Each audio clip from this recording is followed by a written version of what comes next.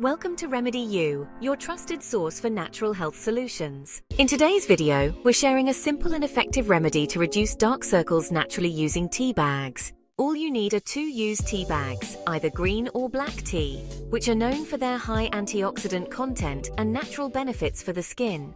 To begin, take the two used tea bags and place them in the refrigerator for about 30 minutes to let them cool. The cooling process helps to enhance the anti-inflammatory effects of the tea, making it more effective at reducing puffiness and dark circles. Once the tea bags are chilled, lie down in a comfortable position and place them over your closed eyes. Let the tea bags rest on your eyelids for 10 to 15 minutes while you relax. This allows the caffeine and antioxidants from the tea to work their magic by improving blood circulation and reducing swelling around the eyes. Afterward, remove the tea bags and gently rinse your face with cool water to wash away any residue.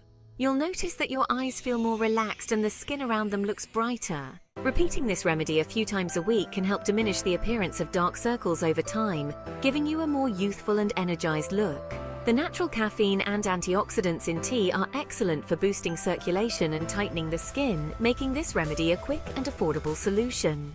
For more natural remedies and tips to enhance your well-being, be sure to visit our website, remedyu.com. Thanks for tuning in, and don't forget to subscribe to our channel for more health and beauty tips.